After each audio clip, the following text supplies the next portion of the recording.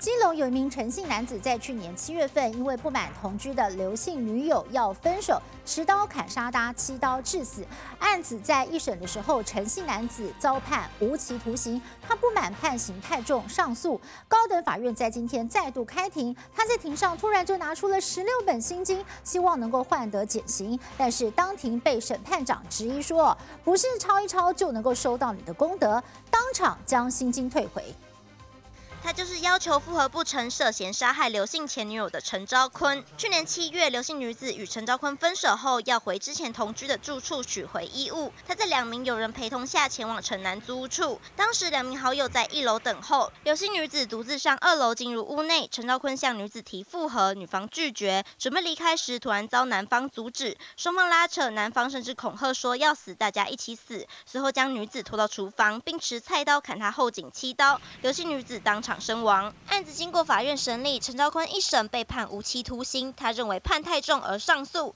二审高等法院在十五号开庭，陈昭坤当庭呈上十六本手抄心经，告知审判长自己有悔意，请求减刑。但审判长当庭质问他写这么多本是在写什么？不是抄一抄就能收到你的功德，并将心经退回。书上有许多被告会提出和解书、悔过书来争取有利的量刑条件，但被害人家属如果明确表示不愿意原谅。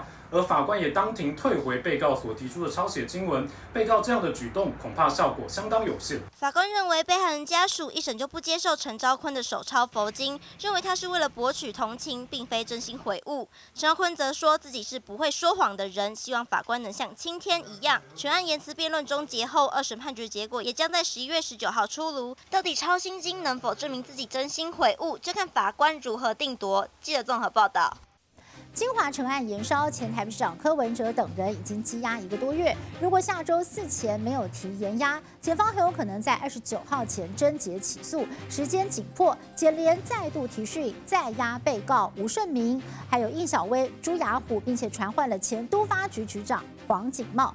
而沈庆金再传借护就医，还在昨天动了手术，今天中午还押看守所。而他一个多月前申请拒保停押，下午北院确定驳回。另外。朱雅虎两度被裁定羁押，也再度提出抗告。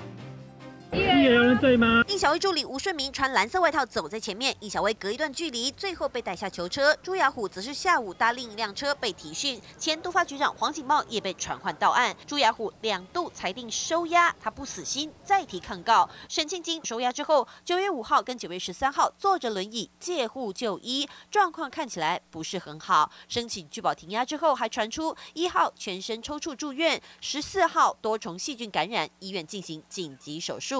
即使如此，维京小沈十五号中午还是被认为可以出院，回到了看守所。没多久，申请拒保停押就正式被驳回。经过医师诊断后，认为他的疾病在看守所内还是有适当的药物来治疗，因此驳回。光是驳回申请的裁定书就写了厚厚的十页，确定沈庆金得关好关满两个月。检联查金流的部分，针对沈庆金行贿款项追踪，多方确认，民众党政治现金专户木可公司、新故乡协会还有众。望基金会的资金流动是否涉及洗钱？另外也传出柯文哲随身碟被解密，一五零年的单位可能就是万元。已经约谈王令玲，要确认五百写的是不是五百万政治现金？陈英柱后面写的三百是不是三百万？就连谢国良后面写了两百，也可能被约谈。有家族的企业跟民众党有过往来，这件事情是我呃。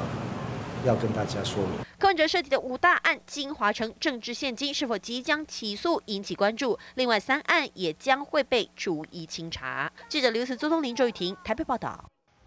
艺人黄子佼因为非法持有未成年少女不雅影片遭到起诉，台北地院在今天第五度开庭，黄子佼依旧是穿着同一套出庭的衣服，连手中拿的饮料瓶都是同一款。由于他仍然不认罪，检方对黄子佼具体求刑七到九个月，还建议法官判他去坐牢。全案辩解，法官定十二月三号一审宣判。今天还是不打算认罪吗？艺人黄子佼因为无故持有未成年少女不雅影片，遭到检方起诉。十五号下午第五度开庭，再次穿着同样的深蓝色上衣，搭配格纹长裤现身法院，就连手中拿的水瓶也是同一款。又是都认罪了，那你怎么看呢？面对媒体询问，黄子佼依旧不发一语，和律师快步走进法庭。据了解，黄子佼从一开始认罪，又改口否认，甚至还主张检警搜索的证物不具备证据能力。他的律师也批评检警以侦办涉犯性侵案件为由执行搜索，但最后却用儿少性剥削防治条例罪起诉，根本是办 A 案问 B 案，搜证不得为证据使用。也否认性影像由黄子佼所下载，被检方当庭反呛。难道要找妻子孟耿如来作证，他这才放弃争执证据能力？如果黄子佼之后放弃争执证物的证据能力，表示他已经承认这些证物的证据能力。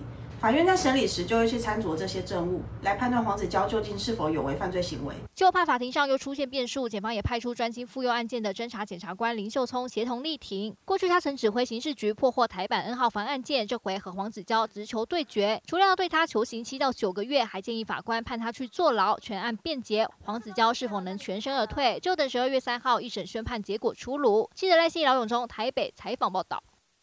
中共解放军在昨天对台湾实施军事演习，央视随即在微博发布了亮剑图卡，称台独是死路一条。敏感时刻，部分台湾艺人也表态，其中欧阳娜娜开第一枪转发，接着张韶涵、明道等艺人也陆续的表态挺中。对此，文化部长李远透露哦，他蛮难过的，这到底是发自内心还是不得已的呢？也强调。文化部向来尊重台湾艺人到对岸发展，更表示在台湾并不会要求艺人表达忠诚。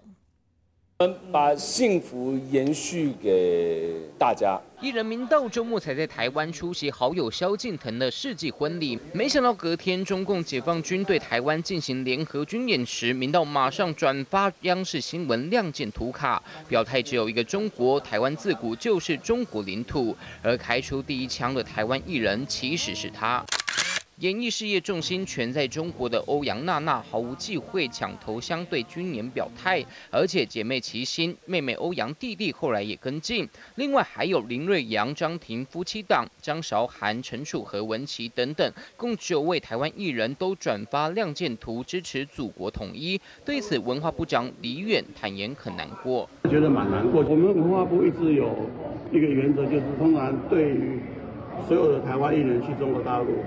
都是保持保持尊重。对于台湾艺人，在敏感时刻表态挺中，充满无奈。而有女版黄安之称的刘乐言，更趁机分享她两年前录制的歌曲，表示是时候要坐着航空母舰回台湾了。坐着航母回台湾。希望他们不要言论上或什么哪方面也被被利用了。在台湾给任何一个艺人创作者，我不会不会让你写下一个。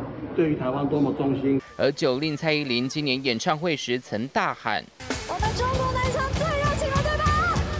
这句“我们中国南昌”也引起争议。被问到相关议题时，那想请问九令，就是两岸关系紧张，有感受到吗？我们今天，我们今天看到台湾土生土长的明星艺人公开挺中，恐怕也让不少台湾粉丝心碎脱粉。借综合报道。